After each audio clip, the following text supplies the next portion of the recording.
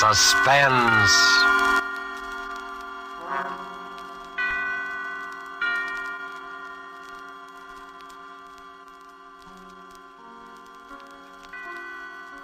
This is the Man in Black, here again to introduce Columbia's program, Suspense. Tonight from Hollywood, we bring you two of America's most artful and distinguished stars.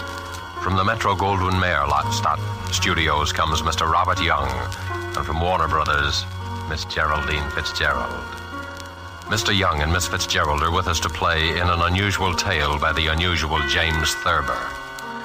An excerpt from the book My World and Welcome to It, called A Friend to Alexander, adapted for radio by Freya Howard, is tonight's study in suspense. If you've been with us before, you will know that suspense is compounded of mystery and suspicion and dangerous adventure. In this series are tales calculated to intrigue you, to stir your nerves, to offer you a precarious situation, and then withhold the solution until the last possible moment. And so it is with Mr. Thurber's poignant and strange story, and the performances of Robert Young as the man who was a friend to Alexander, and of Geraldine Fitzgerald as his wife Bess, who relates these events to us. We again hope to keep you in suspense.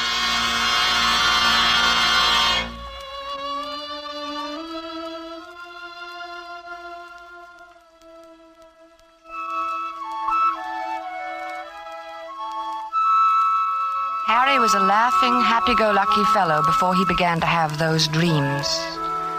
I guess he was pretty much like dozens of other men who go to work every morning, settle down in soft chairs with their newspapers after dinner, and like a weekend in the country now and then. He was fond of easy living and good times. Like everyone else, he talked of the war, rationing tires, and his golf scores. Until. until those nightmares began to plague him. First, I was amused. You know, I've been dreaming about Aaron Burr every night. What for? Well, how do I know what for? Aaron Burr is a funny person to be dreaming about nowadays. Why? I mean, with all the countries in the world at war with each other. What's so funny about dreaming? Maybe you're upset. Well, everybody dreams, don't they? I don't see why you'd see Aaron Burr in your dreams. Well, I do. Where do you see him? Oh, places. In Washington Square, or Bowling Green, or on Broadway. Even here on 55th Street? Mostly downtown. I'll be talking to a woman in a Victoria, a woman holding a white lace parasol. Oh. And suddenly there will be Aaron Burr, bowing and smiling and smelling like a carnation, telling us stories about France and getting off his insults. Who is the woman in the Victoria? Hmm? What? The woman. Who is she? Well, how do I know? You know about people in dreams, don't you? They're nobody at all. Or everybody. Ah, but you see Aaron Burr plainly enough, though. I mean, he isn't anybody or nobody, or everybody. All right, all right. You have me there, but I, I don't know who the woman is. Are you sure? What's more, I don't care.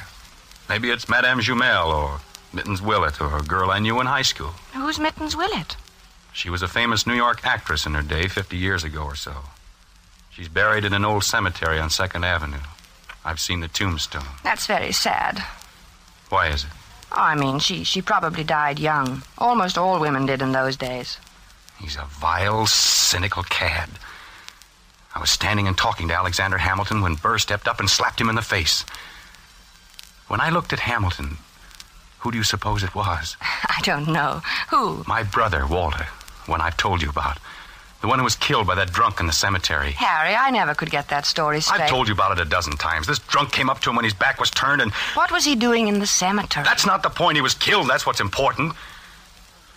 And I loved him very much. I don't understand what. What's the use of telling you every time I mention it? You start asking the same questions. I understand now, dear. When you looked at Hamilton, he was your brother Walter. Yes. Harry, maybe.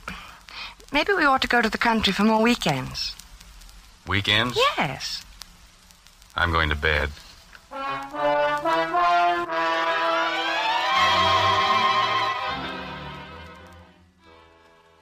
For a time that evening, I worried about Harry. Not about his dream. Why shouldn't he dream? But I wondered about his health.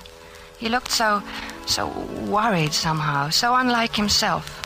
I was glad when he went to bed. A good night's sleep was just what he needed, I thought. How could I know? The next morning, we were quietly eating our grapefruit when Harry flung down his spoon. I wish he'd go back to France and stay there, him and his la-la. Who, dear? Oh, you mean Aaron Burr. Did you dream about him again? Yes, he said la-la to me. Why should he say la la? I was at the tavern and we were drinking ale, and I said something funny. I don't remember what it was. Something amusing about what uh, Ben Franklin had said to Washington once. Was one of those things, you know. No, I don't. Have some, have some more coffee, dear. I don't want any coffee. I made this remark, and everyone laughed. Everyone but Burr, that is. He sort of sniffed, and then he said, La la. Well, why not? I mean, is there anything wrong about him saying la la? It was the way he said it. He was sneering at me. They all noticed it. Who, dear? Who noticed? The others, all of them. And Hamilton. I was there with Hamilton. It was swell until Burr came in. Aaron Burr. I don't see why you dream about him all the time. Don't you think you should take some luminal? I'm not sick, I tell you. I know what I'm dreaming. I just thought, well, it's always Burr, and that seems odd. Well, why? Why shouldn't I dream about Burr if I want to? But you don't want to. No, but I can't help it. Everywhere I go with Alexander, sooner or later Burr shows up and makes those nasty remarks. Last night he elbowed Alexander out of his way, did it deliberately. Alexander? Hamilton. Oh, Alexander Hamilton. Yes, goodness knows I'm familiar enough with him by this time to call him by his first name.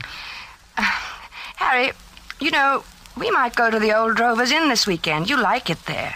Hamilton has become not only my brother Walter, but practically every other guy I've ever liked.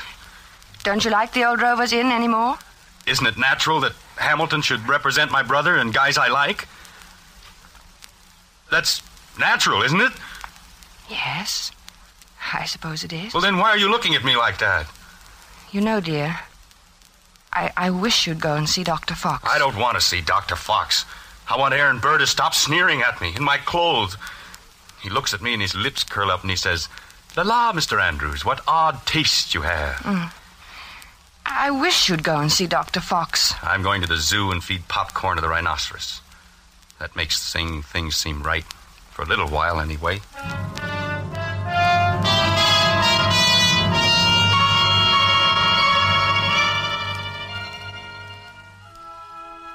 I thought he'd forgotten all about that ancient pistol duel, because for two days after that, he lost his haggard, tired look and actually seemed cheerful. But one night, about five in the morning, he came into my room in pajamas and bare feet, his hair disheveled and his eyes wild. He got him. He got him. The rotter got him. Alexander fired in the air and smiled at him, just like Walter must have smiled. Like Walter? Oh, yes, dear. Your brother Walter, who was killed in a cemetery. This was at Weehawken in New Jersey. What? Your brother? No, Hamilton and Burr. The duel. Hamilton had a white ruff around his neck. Burr was in black tights, French clothes. Alexander lifted his pistol and fired in the air and then smiled at Burr. And then that fiend from hell took deliberate aim. He took so long. He meant to take his time about it. I saw him grin. And then he pointed his pistol at Alexander and fired. He killed him in cold blood, the foul scum. Oh, darling. Don't, darling. Here, here, dear. Take some of these pills. I don't want any. Oh, take it. You'll feel better. I don't want any, I tell you. Here, darling. Swallow. Please, swallow. All right. There. That's better. The cad. The rotten, sneaking cad. He grinned just as he fired. And Alexander clutched himself at the stomach. Then shook his head and uh, tried to walk forward. Then he fell. With his mouth open as though he wanted to say something. And Burr stood there, grinning.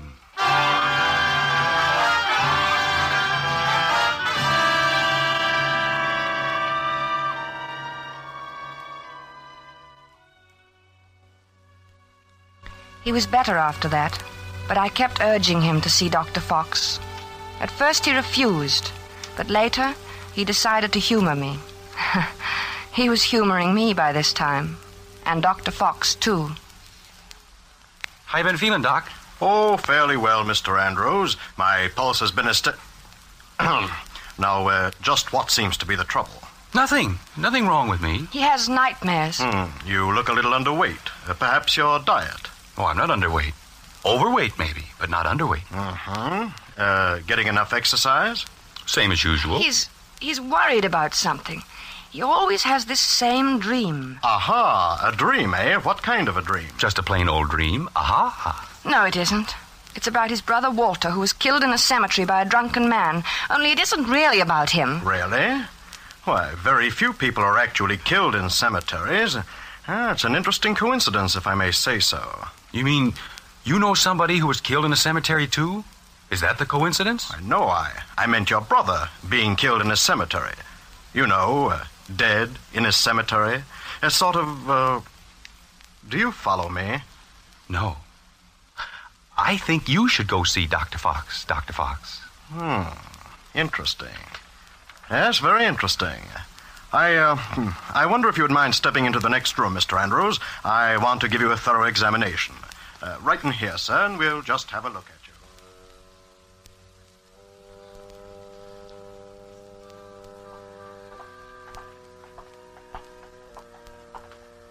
Well, I hope you're satisfied. You heard what he said. There's nothing the matter with me at all. I'm glad your heart is so fine. He said so, you know. He said your heart is fine. Sure, it's fine. My heart's fine. Everything's fine. And you know, you know what I was thinking? No, what? I was just thinking that now that Alexander Hamilton is dead, why, you won't see any more of Aaron Burr. Yeah. yeah, I guess you're right.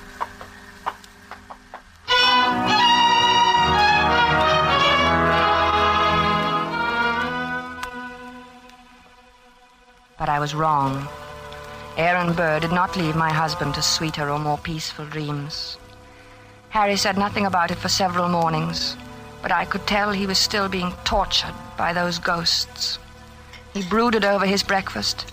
He didn't answer me when I spoke to him. I dropped my butter knife, and he jumped. What was that? Only my knife. Oh, Harry, are you still dreaming about that man? oh, I wish I hadn't told you about it. Forget it, will you? I can't forget it with you going on this way. Can't you forget I mentioned it? Maybe you should see a psychiatrist. Oh, bosh. What what does he do now? What does who do? Aaron Burr. I don't see why he keeps coming into your dreams now. He goes around bragging that he did it with his eyes closed.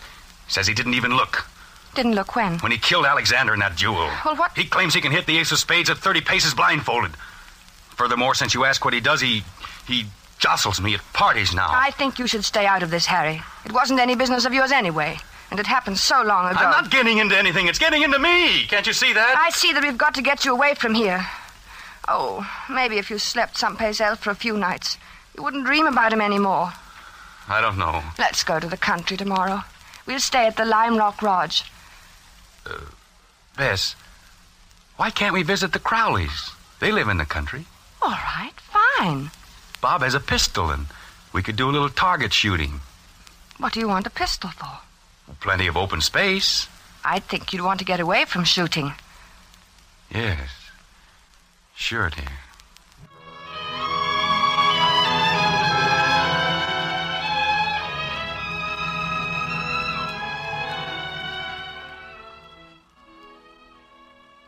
The vacation seemed a success at first.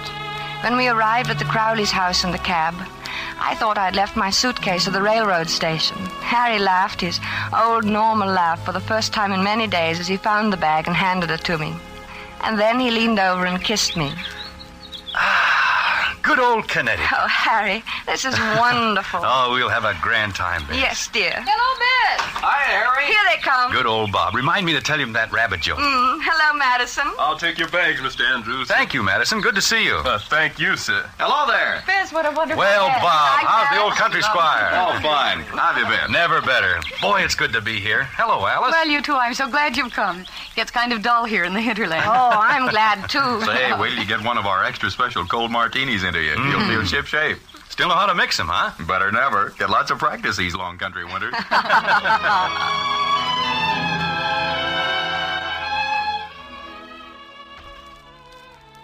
Oh, it was grand, seeing Harry's face relaxed and smiling over his cocktail glass. When I went to bed that night, I felt that at last that nasty old business of the dream was over, and I was happy. But when I woke the next morning, when I woke, I saw my husband lying rigid on his back, staring at the ceiling. One Henry Andrews, an architect. What's the matter, dear? Nothing. Oh, why don't you go back to sleep, Harry? It's only eight o'clock, and this is the country. One Henry Andrews, an architect. What are you talking That's about? That's what he calls me. calls you. Who? One Henry Andrews, an architect, he keeps saying in his nasty little sneering voice. One Henry Harry, Andrews! Harry, please don't yell. You'll wake the whole house. It's early. People want to sleep. I'm beneath him. I'm just anybody. I'm a man in a gray suit. Be on your good behavior, my good man, he says to me. Or I shall have one of my lackeys give you a taste of the riding crop. Why should he say that to you? You ask me why. He wasn't such a great man, was he? I mean, didn't he try to sell Louisiana to the French or something behind Washington's back? He was a traitor. Then why worry what he says? He was a scoundrel, but a very brilliant mind. I was in hopes you, you weren't going to dream about him anymore. I thought if we came up here. It's him or me. I can't stand this forever. Neither can I.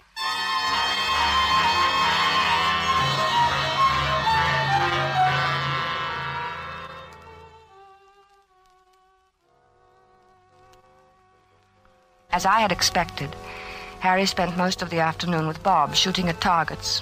At first, they just aimed at the paper squares. It all seemed to be good natured and in fun. After a while, Harry stood with his back to the dead tree trunk on which the targets were nailed. Then he walked thirty paces ahead in a stiff legged manner, and his face was set in stern lines. His revolver was at arm's length above his head when he turned suddenly and fired. Bob dropped to the ground, scared. Hey, what's the big idea, Harry? But Harry didn't answer. He started to walk back to that dead tree trunk again. Then, with his back to the target, he began marking off the 30 paces. Bob called to him, I think they kept their arms hanging straight down. I don't think they stuck them up in the air. but my husband continued to count off.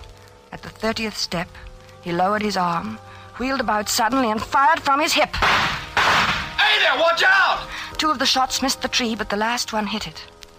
Like a mechanical man or someone in a trance, Harry began to walk back to the tree again without a word, his lips tight, his eyes bright, his breathing coming fast. And look, it's my turn. But Harry about faced and stalked on.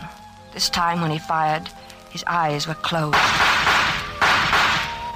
Poor Bob didn't know what to make of this strange behavior. Hey, good heavens, man, give me that gun, will you? Without a protest, Harry let him have it. For the first time, he spoke. I. I need a lot more practice, I guess. Well, not with me standing around. Come on, let's get back to the house and shake up a drink.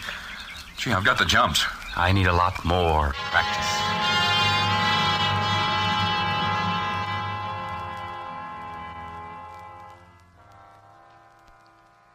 I guess I must have slept soundly that night, because I didn't hear him leave the room. He must have crawled out of bed, dressed silently, and crept out of the room. The sun was just coming up, and the light was hard, and the air was cold. Then I heard the shots.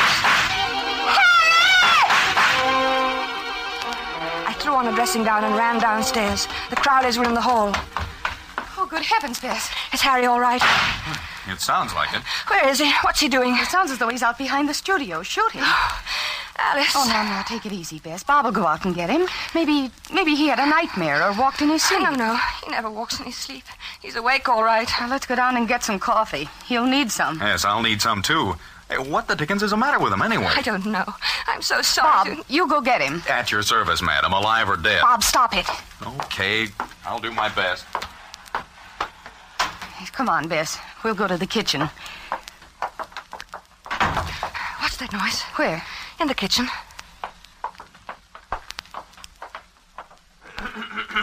Oh. Oh, it's you, Madison. Uh, yes, ma'am. Well, you're shaking. I, I was just wondering, ma'am. no, I, no, no. It's all right, Madison. You go on back to bed. Uh, Clothita was scared, ma'am, and I Oh, thought. but you tell Clothita that it's all right. Mr. Andrews is uh, shooting a little. He couldn't sleep. Uh, yes, ma'am. Yes.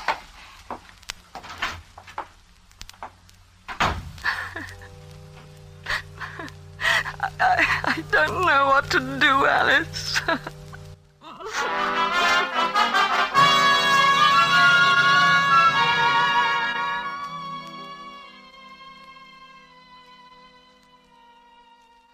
I guess the Crowleys were relieved when the cab came to drive us to the station early that day.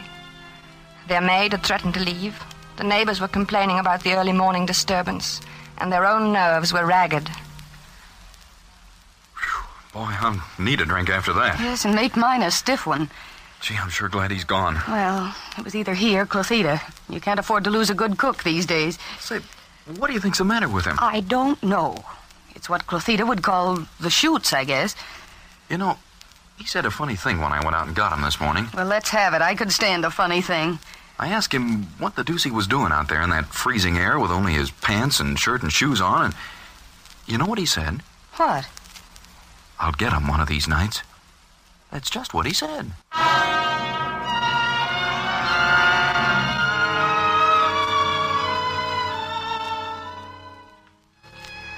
By this time, I was really frightened. When we returned to the city, Harry was a picture of gloom.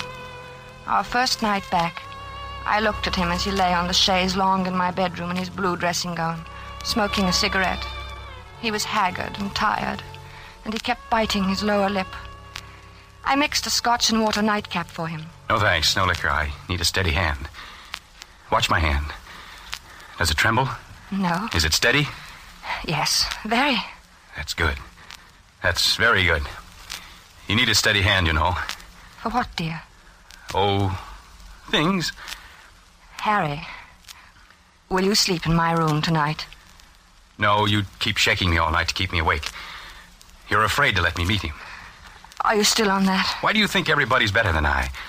I can outshoot him the best day he ever lived. Oh, of course, in the dear. waistcoat. Right next to the middle button. He has three big pearl buttons on his waistcoat. Came from France. Why don't you dream about somebody else? Anybody else, please. You'd like that, wouldn't you? You'd like to have me dream about somebody who wouldn't hurt a fly. Somebody like that. Because you'd know I'd never get in a duel with him. A duel? You're dreaming of a duel now? Ever since Hamilton died. Burr knows I hate him. It's nearly over now. Harry. It's him or me. I'll get him, the rotter. But, Harry. I know I'll get him. You see, I have a modern pistol. He has to use an old fashioned single shot muzzle loader. Is that quite fair? fair? What do I care if it's fair or not? Was it fair the way he shot Alexander? Was it? Don't be mad with me, Harry. Oh, I'm I'm sorry, darling. I'm very unhappy. I'm sorry, darling. And I'm worried sick. Well, I'm sorry, darling. Don't cry. Please don't cry. It upsets me when you cry. And I mustn't be upset. I must be very calm and rested. My hand must be steady tonight. Especially tonight. Oh, I'm so worried, Harry. Don't worry about me. I'll be all right. I'll be fine. My hand is like a rock.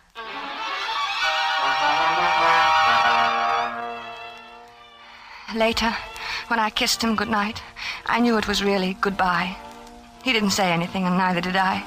It's just that he seemed so far away, in in another world. And each moment I felt that he was becoming more and more remote. Something told me he wasn't coming back.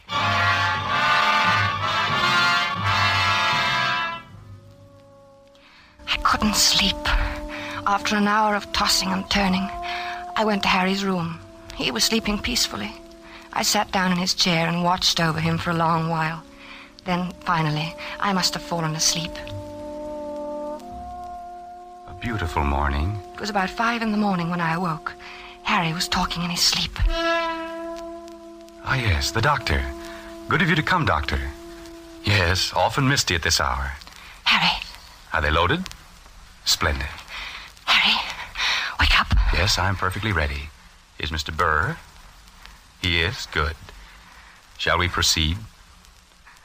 No, I do not care to make a statement.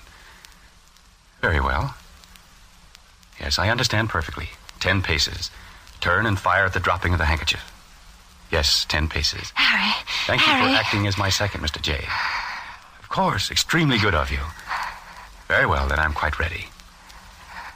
One, two, three, Harry, four, Harry, please. five, Don't, Harry. six, seven, eight, nine, ten. Harry happy, dear. Harry.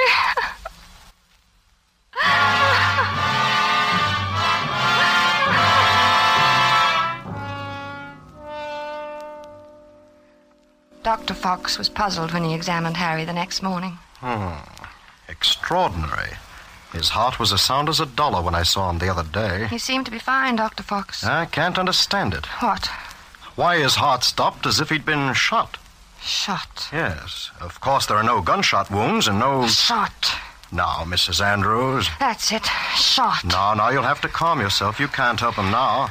I should have known it would happen. I kept staring at Harry's right hand. The three fingers next to the index finger were closed stiffly on the palm, as if gripping the handle of a pistol. The taut thumb was doing its part to hold that invisible handle tightly and unwaveringly. But it was the index finger which held my eye the longest. I looked carefully to make sure I was right. Yes, yes, it was so. That index finger was curved inward slightly, as if it were about to press the trigger of a pistol. So there had been a duel after all. Perhaps there was no gunshot wound. But Harry had been shot as surely as he was dead. Dr. Fox saw me staring and spoke to me. What are you looking at, Mrs. Andrews? Harry never even fired a shot. Aaron Burr killed him the way he killed Hamilton. Well, what are you talking about? Aaron Burr shot him through the heart. I knew he would. Yes, but there's no evidence. To I knew he would. Then Dr. Fox put an arm around me. He looked at me gently and and a bit frightened, the way I used to look at Harry when he told me about his dreams. He led me to his assistant and whispered something. He thought I didn't hear him, but I did. She's crazy. Stark, raving crazy. I let the assistant take me away. Maybe he thought I was crazy too. But now I knew. Aaron Burr got Harry. Just as he had killed Hamilton in that old quarrel long ago. I